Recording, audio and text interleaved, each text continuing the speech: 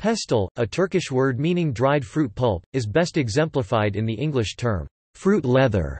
Fruit leather is made from mechanically pulverizing fruit, then spreading it out to dry into a tough, yet flexible and edible material which can be kept preserved for several months in an airtight container. Pestil is an Armenian loanword from pastel. In Greek it is called pastilos. In some regions of Turkey, including the southeastern city of Urfa, this fruit dessert is also called bastik.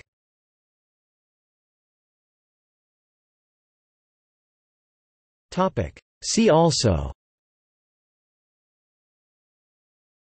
Churchkhela Kaysefe Orchik candy